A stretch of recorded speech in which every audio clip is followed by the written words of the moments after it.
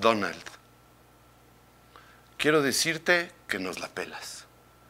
Tu proyecto de hacer una pared me parece realmente precioso, porque tal vez así dejaremos de tener todas esas pinches gringas putitas que solo vienen a buscar lancheros que se las cojan.